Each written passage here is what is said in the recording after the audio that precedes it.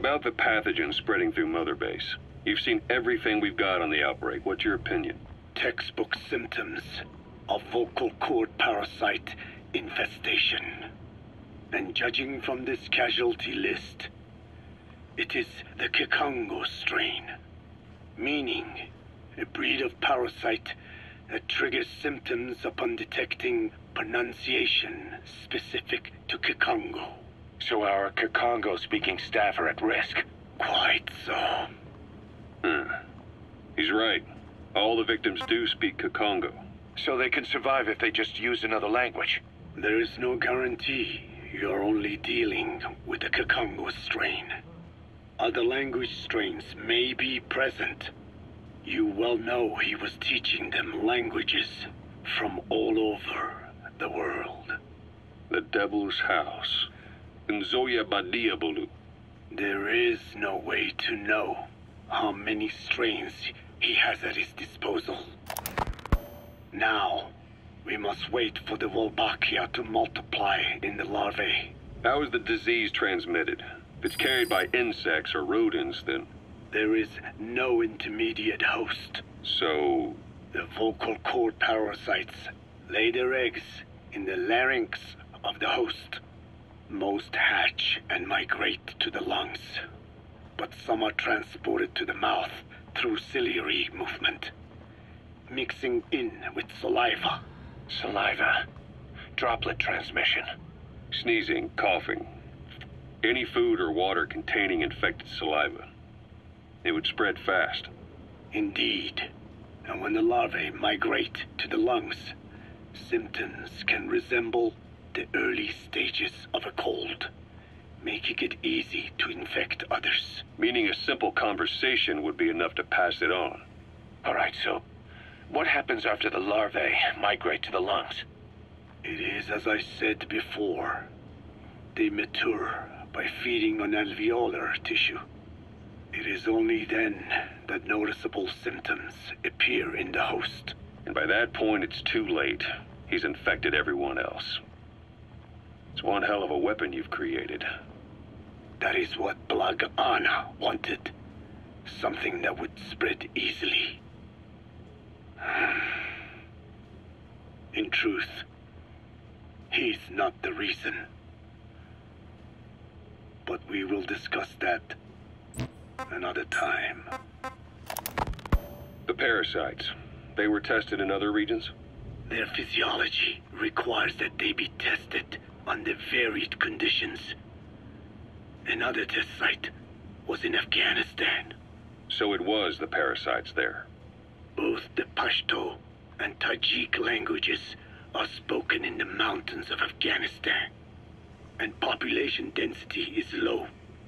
Ideal testing grounds for how accurately the parasites target only the specified language.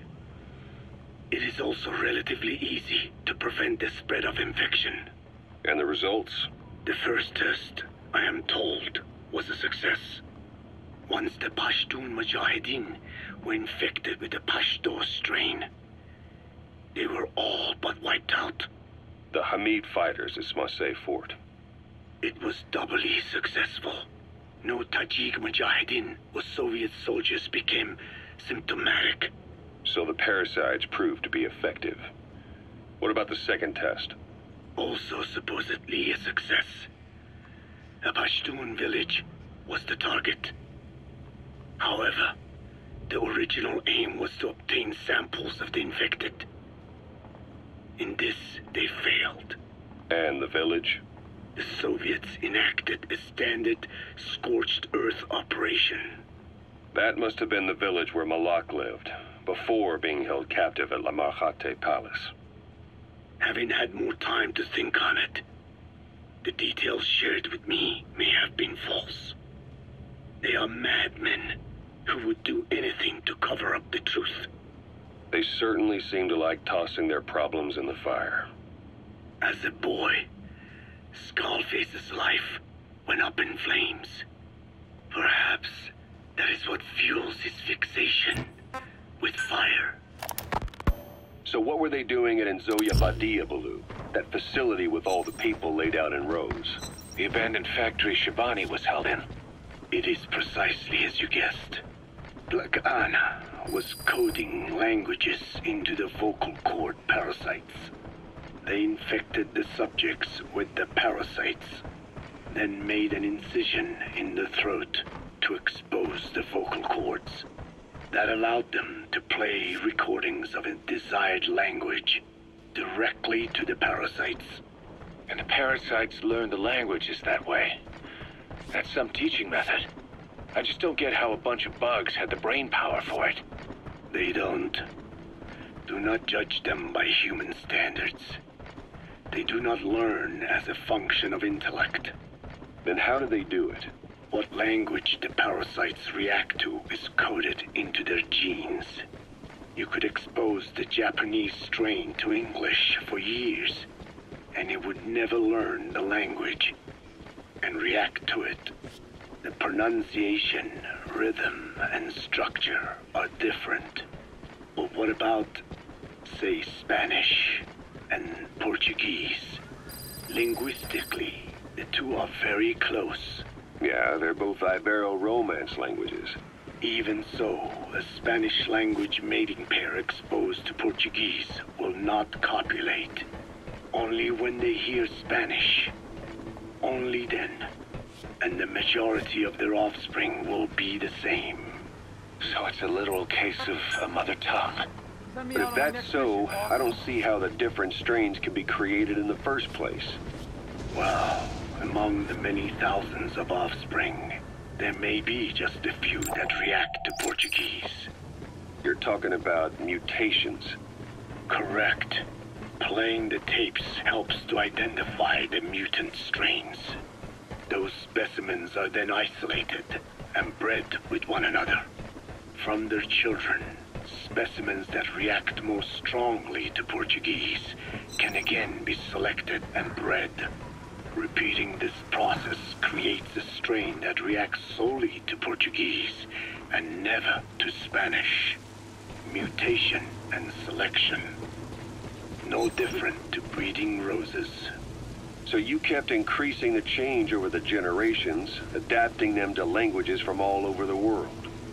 It must have taken a hell of a lot of patience. More like patience. Just how many died for this? There's something I still don't get.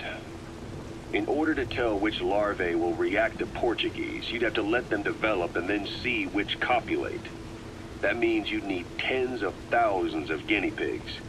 There's no way you could do that in a facility that small. For normal selective breeding methods, you would be right. But there is a more effective selection method when training the vocal cord parasites.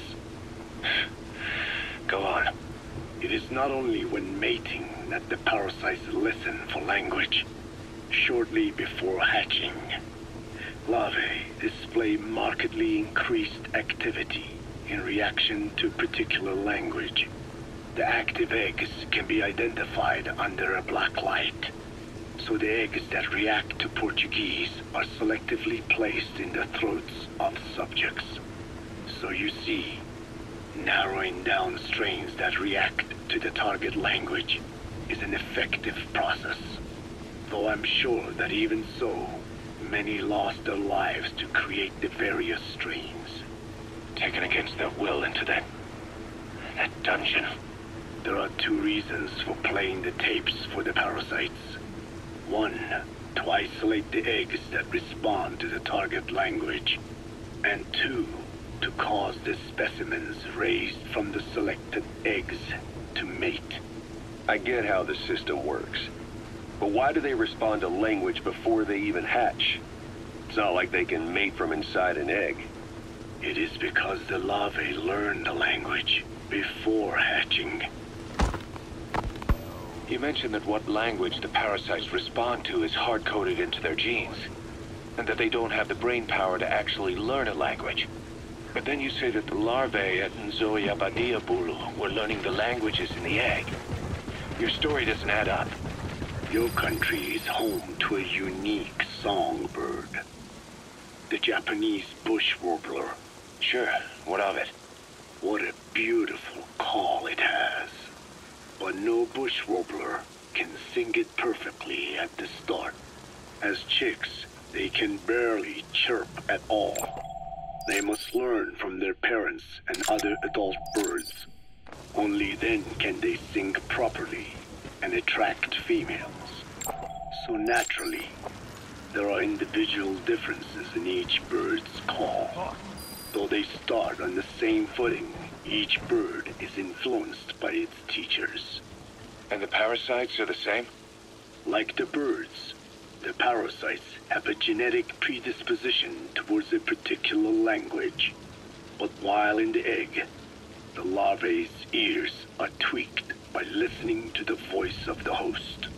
This tweaking ensures that the grown parasites will react better to the host's speech pattern. Why would they have an ability like that? Well, there are distinct regional differences within even the same language. Rare is the language that has no unique dialects. Yes, learning the host's speech pattern before hatching attunes the larvae to whatever twist of pronunciation it will encounter. This adaptive ability is what makes them so formidable. I see.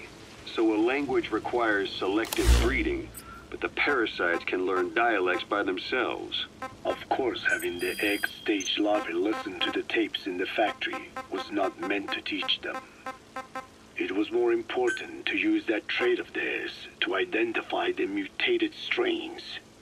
As I mentioned earlier, Is that really accurate enough to use as a weapon?